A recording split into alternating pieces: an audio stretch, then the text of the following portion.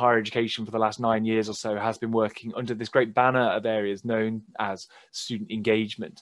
Um, that's started off with me being involved as a student rep myself. So similar to yourselves being involved as a student academic representatives. Um, and I actually sat on probably, I think I counted once that I actually sat on something like um, 600 um, university committees to represent my fellow students during my time. Um, so when I was a student, I was a class rep myself for archaeology. I then ran to be a student union officer. So I was a vice president education for two years. And during that time, similar to Kevin and other colleagues present, I sat on several um, national committees. So was involved in some student representation in government as well. But now I find my time at the University of Winchester um, I line manage the supporting staff related to the careers service, um, student experience, extracurricular activities, volunteering, and placements. And we do we've done lots of really good fun work at Winchester. But I'm also the program leader for our MA PG Cert student engagement in higher education, which is a course all about this fantastic area of university and college business. That is, how do we support our students to succeed? How do we ensure we are listening to students' voices?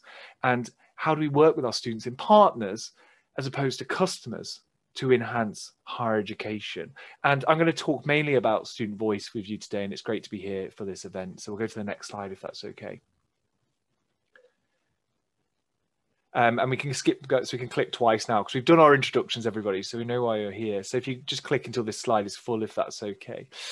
So there's a lot of debate going on in student engagement in higher education. It's a great banner of activity.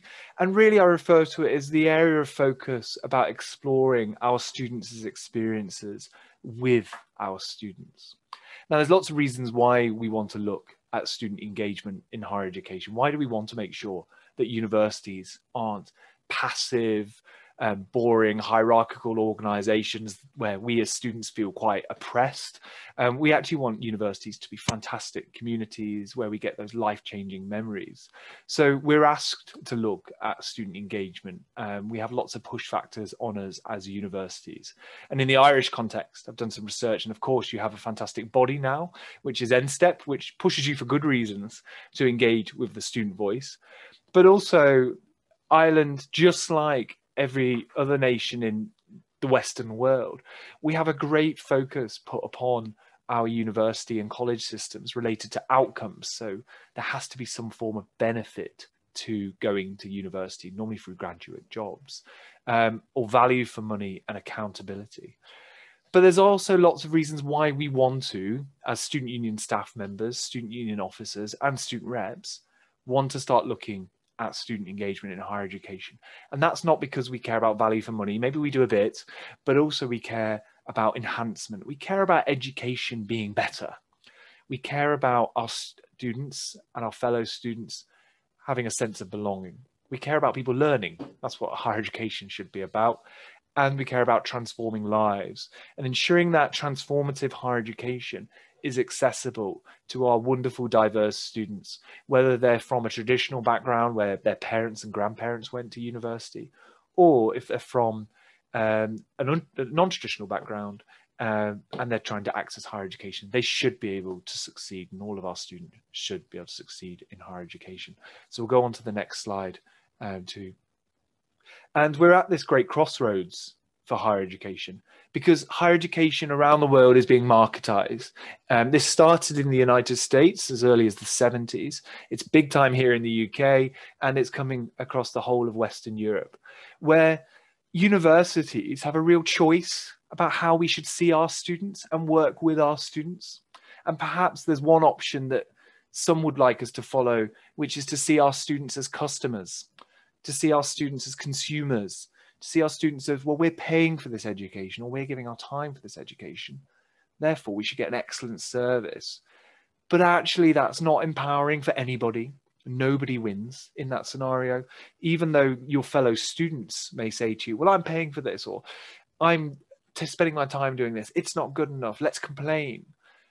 Actually that leads us to a position where we're more like customers and actually, customers aren't that empowered to have a say. If you go out for a meal, you don't really have a say in your meal. You order something, and if you don't like it, all you can do is complain at the end. Do we want to have a higher education where we turn up and all we can do is complain at the end?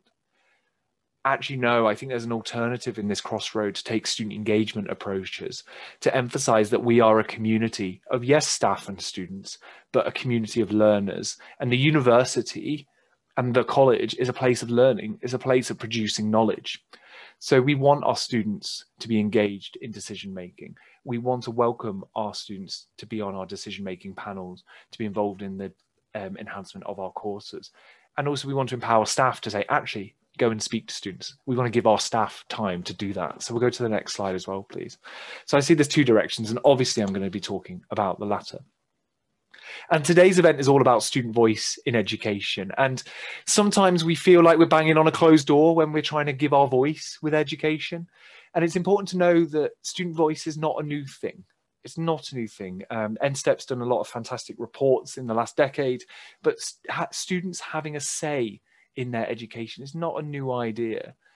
Um, actually, the UN and UNESCO have talked about students should have a right to say in their education pre 18.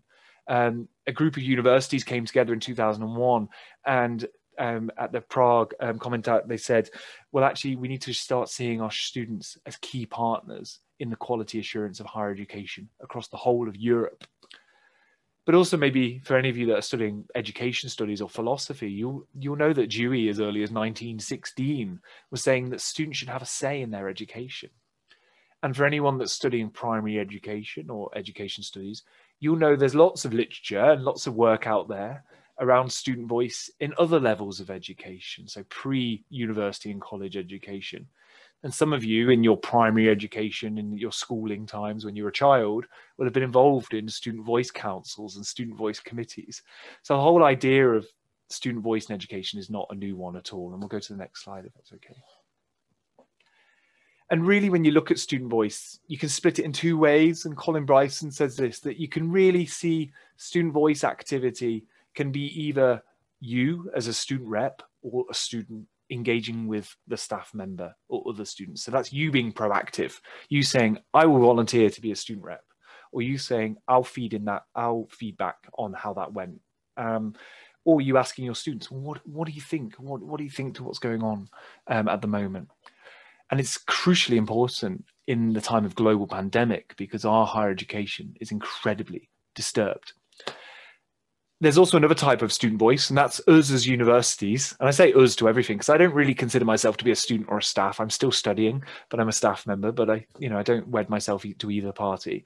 And there's also us as staff members, though, proactively engaging with students, going out there and trying to listen to students, deploying methods to engage with the student voice. And it's all fantastic, but you need both parties to be involved, really. And I'm going to speak more about that in a moment. So we'll nip to the next slide if that's okay, Oisin. So, what counts as student voice? Well, here's a load of things on the screen that, in my view, count as student voice. Um, student voice is really basic. Um, sometimes we put it on a pedestal in our student unions and say, well, it's only the SU president or it's only the faculty rep. But actually, let's, I'm going to level with you a little bit here. And actually, the most basic form of student voice is just somebody putting their hand up and saying, excuse me, I didn't understand that point. Can you say that again? That is student feedback in its most basic form. What's another basic form of student voice? It's just a staff member speaking to a student or a student speaking to a staff member at the end of a session saying, really, really enjoyed that session. Loved how you spoke about that. However, I do not understand what you were talking about in the last 15 minutes. Can we speak a bit further? That's a form of student voice. Or, or a student emailing a staff member. I've got the Outlook logo there saying, the students are really concerned about the deadline. Can we talk about maybe moving it? There's other types of student voice that maybe we're here to talk about today. Student reps, and I coordinated a rep scheme for two years myself and did all the admin. I had no student rep staffing at Winchester, and I know that that role and how important the great foundation of student voice, student representatives are. It's our student unions as organized student associations who represent student voices en masse across organizations. And it's also complaining.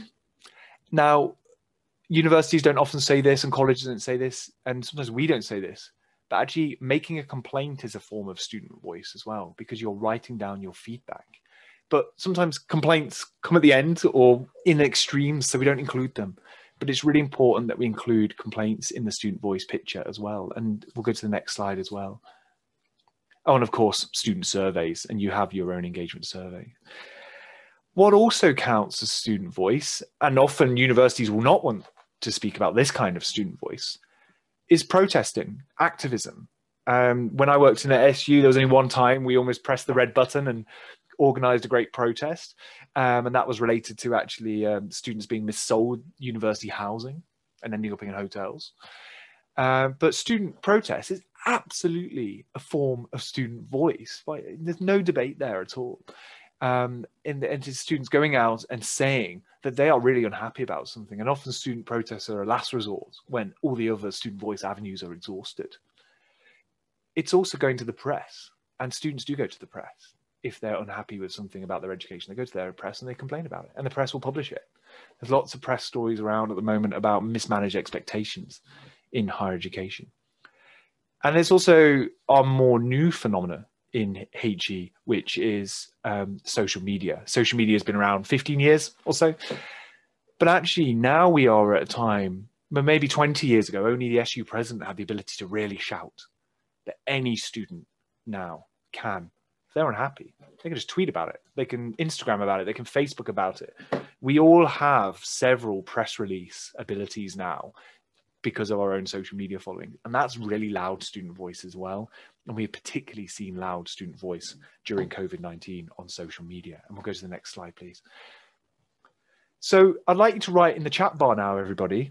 Um, how are you gathering student voice right now in your roles? And what are they voicing their feedback about? So if you could all write in the chat bar, I've got it on my screen, I can see it okay. Just no right or wrong answer. So what what kind of forums are you using to get student voice or or um, where are students voicing their concerns or their feedback? And then what are they talking about as well? So WhatsApp a lot, WhatsApp group chats, yet class group chats, yeah, lots of WhatsApp, really the place to go for um, getting a community to speak together. Facebook groups, Messenger, also WhatsApp, Google Forms and WhatsApp. And then what are students talking about at the moment? What what are they speaking about? What are they happy about? What they're not so happy about? What they're confused about? What what are the big themes, everybody? Uh, and thank you, everyone. They're really tired, Rachel. I can really empathize with that. Deadlines piling up, assessments. Keep going, everybody. Assessments. lack of motivation, Zoom fatigue.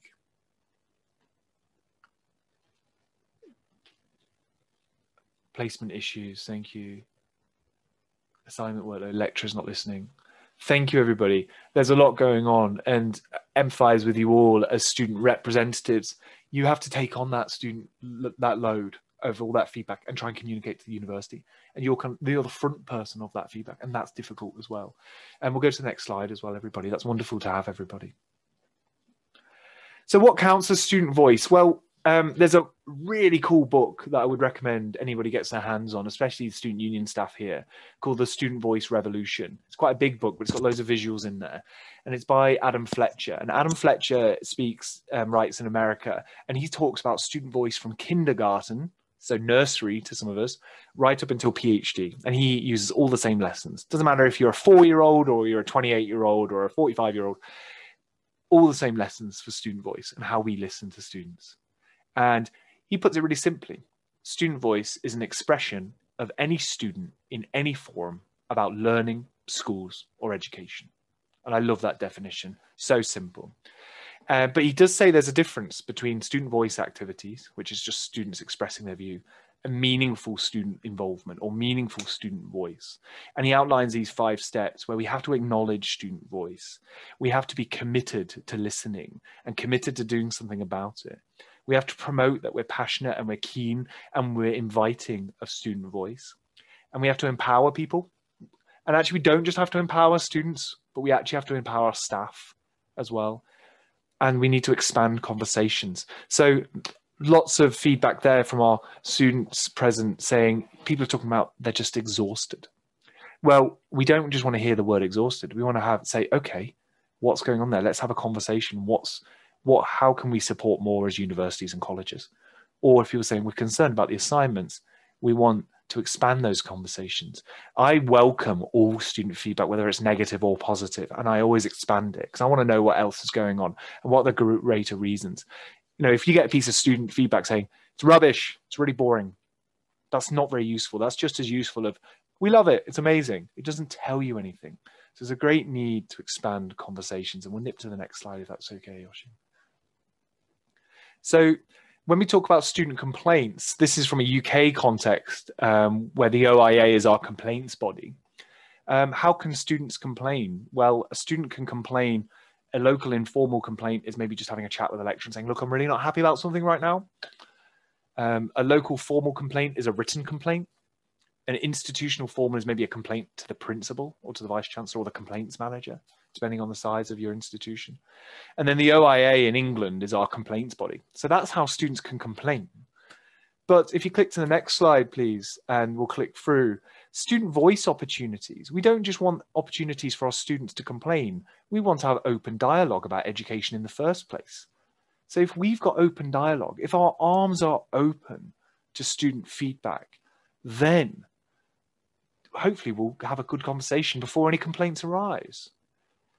Beyond that point, we should have surveys that are picking up anything that's going on. We should be working with our student reps.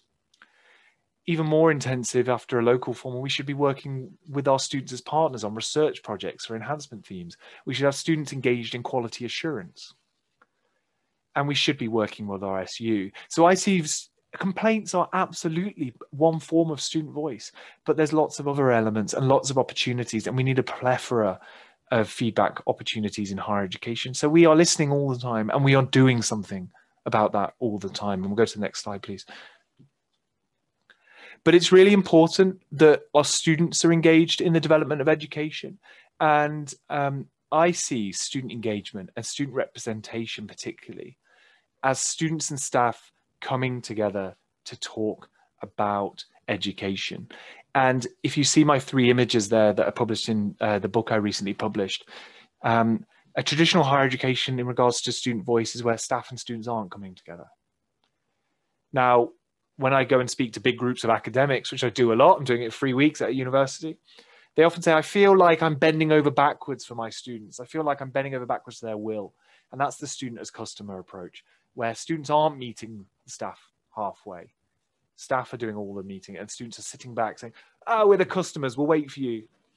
But there's the other way, which is just as common as well. Students as campaigners or activists, where they're actually saying, we've tried voicing our concerns. We've tried sending emails.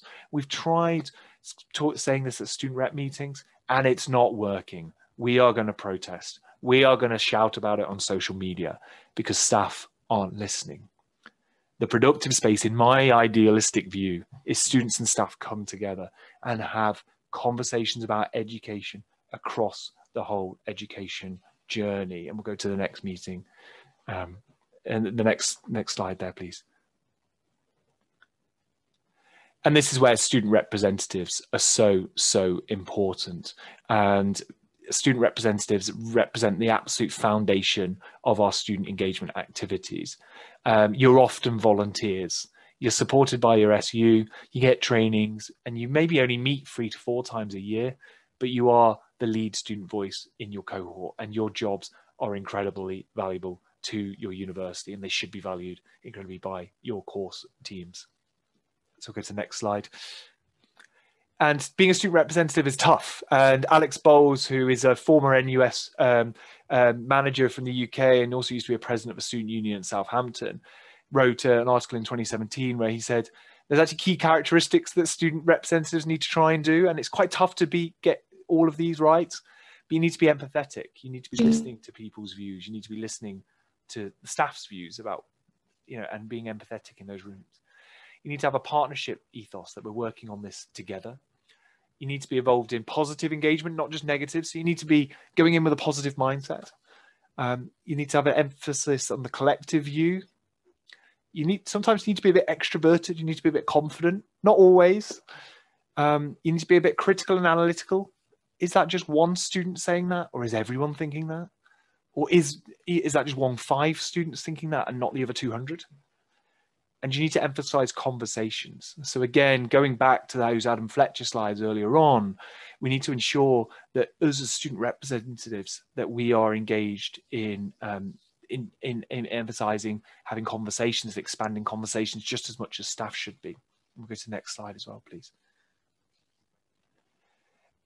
And this was kind of easy Pre-COVID, so here's a nice picture of Imperial College London, where we had a fantastically busy campus. We would see a lot of our cohort, our fellow students, or our students that we taught a lot in our student unions because our campuses would be packed. But if we go to the next slide, please, we are in a very challenging higher education because actually a lot of e-learning is going on and a lot of distance is between us and our students and between us and our fellow students. So what do we do in a HE sector where all our students are less visible? And perhaps is online student voice the only feedback we can get?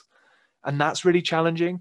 And that's why, you know, I can hear you all saying, well, WhatsApp groups where I get my feedback from. So we'll go to the next slide. So it's not easy. We're in a HE um, where during COVID-19, where people are getting less campus interactions, less access to service, the opportunities have decreased. So there may be less sport, and um, we can't do big forums in a room. Um, students' time on campus is limited. Maybe you can't go to the library as much, less face-to-face teaching, even if you've got any at all. Um, more online content. Students saying, actually, I don't want to go to campus because I don't want to go on public transport because maybe travel is not expected to be safe. But also we've got a lot of students who are maybe a bit confused that maybe this isn't the higher education they expected. And that's quite concerning for them and therefore you as student reps are having to deal with that feedback and try and make the best of a very tough situation. And we'll go to the next slide as well, please. I know I'm running out of time, everybody, as well. So there's lots of challenges being a student rep and there's lots of challenges going on. And I don't know, again, in the in the chat bar quickly, if people just want to write, what challenges have you got as a student rep? Or what challenges are your fellow students facing right now? And do just write anything in. There's no right or wrong answer, everybody. And what challenges are you facing right now as a student rep? And I'll let you all type away. Thank you, Chloe. I hope you're okay. Keeping morale up. Thank you, Andrea.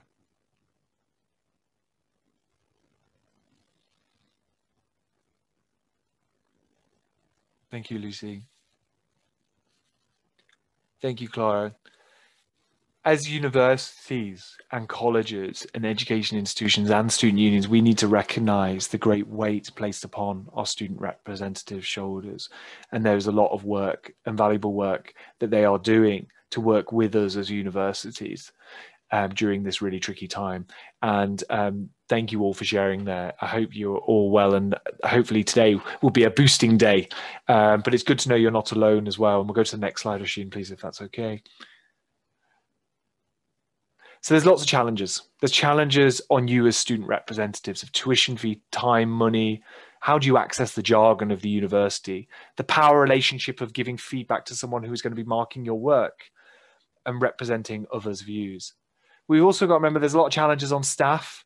They didn't ask for COVID 19, um, but tuition, those same tuition fees, time, power relationships as, as you, the student who often rates them, it can be tricky for them as well and they can feel quite outnumbered and how they translate that feedback and managing expectations during covid-19 is almost impossible. And pressures from their own managers and accessing students is really really tough. So there's challenges on both sides and it's, it's a tricky time and hopefully after today we'll be have lots to talk about that and we'll go to the next slide please. And it's also tricky because often we're entering into their world. We're entering into the boardroom we're entering into the university world and that can be very alienating. And there's a great paper from 2001 by Sarah Mann that talks about alienation. And actually, our students, um, as student reps, were often having to wrestle with jargon and processes and structures. And if we are SU officers, we're investing with even more of that. And that can lead us to have a sense of alienation, especially for anyone who's a non traditional student. And next slide as well. But don't worry, everybody because you're supported by your S student unions in this whole process. And here's some great bodies here that I've just got from Google. Um, student unions are epic. They are wonderful organizations that are here to support your student views. So I hope if you get anything out of today, it's knowing that please speak to your SU if you're in challenging situations. Um, and for you guys as SU officers, it's blooming hard as well. I've been a vice president of education myself, and it's really hard. And you've got these national bodies to support you, like the USI and NSTEP. And please speak to one another. That is what we must do more and more right now because we're sometimes being a student representative is very lonely and but there's lots of us of us out there and just connecting ranting it off sharing ideas can be really valuable. And we'll go to the next slide, please. So there's loads of ways we can gain feedback. We can do feedback in person, but we can also do feedback online. And it's great you're using WhatsApp groups. And there's universities and student unions. You can use social medias, voting polls. You can use surveys. You can do suggestion boxes online. And we can also do a lot of research during this time. And I worry that there's not much research going on during COVID 19. But there's lots of student voice practices. But as I'm running low on time, I'll whiz on everybody to the next slide because um, I believe I'm drawing to an end. We can reimagine student voice and feedback forms. In this time, we might have to reinvent the wheel. How do we get student feedback? But and but student feedback shouldn't stop. There's many departments like IT and estates that maybe don't get as much student feedback, and we need to make sure we're engaging students. And there's loads of ideas out there, and we can use software like Unitu to do that as well. Um, and the next slide as well, please. Um, and as I'll draw to a bit of a close. So, to conclude, why focus on student engagement? Well, um, here's a book I recently published on the topic, and um, please do check it out. I wrote that book for anyone to read, not for just super HE managers to read. Um, we need to engage students' voices. It's the missing perspectives. We need to have multiple pathways for feedback. It gives our students ownership in the community. And it makes our staff see themselves as partners with students in their success. And of course, we can have increased student satisfaction, belonging, retention, and engagement in the curriculum because of that. It offers an opportunity for students and staff to greater understand one another as well. And really, I think it's about the continuous enhancement of education where we are all members in these communities, both learners and providers and hopefully where everybody wins. So we'll got um, on to the next slide. And remember why we are here. And I always find this really, really helpful when you're in a tricky conversation. It's saying, why are we here? Well, we're here because university is a place of knowledge production. We're here because we care about student learning and success. We're here because we care about amazing life experiences. We're here because we're about unlocking potential. And we're here because universities are all about thriving in the face of adversity. And there's a lot of adversity in the world right now. So we'll go to the next slide. So, is there a need for student voice in higher education? Well, during COVID 19, oh, sorry, that's just said pre COVID 19 on the left, there was a lot of reasons for student voice. During COVID 19, we're experiencing even more reasons. So, distance learning, alienation, services online, perhaps the reshaping of the future university. So if you could just do one click for me, a greater need than ever before for student voice. Student voice should not go anywhere because we're all online. It needs to be louder and just as present as before. So the next slide, please. I, here's my MA in student engagement in higher education. If anyone's interested in our course that we run, and please do reach out. My email's on the end of these slides. This is a course for anyone who works in HE, as long as you engage students and it was partly designed for student unions. So please do get in touch. And we've had um, a few students from um, um, Ireland involved in the course um, in the last few years. So it'd be grand to hear from you. But just to round off, the next slide, please, is just a real thank you for listening. It's great to be here today. I'm looking forward to engaging. And my main message is just stay connected and keep speaking up even though it can be quite tiring sometimes. I'm happy for any of you to reach out to me, student or staff member, uh, my name's um, Tom, um, and um, it, my email is simply tom.lowe at winchester.ac.uk. And it's been grand to speak with you. And that's the end of my short presentation. And I did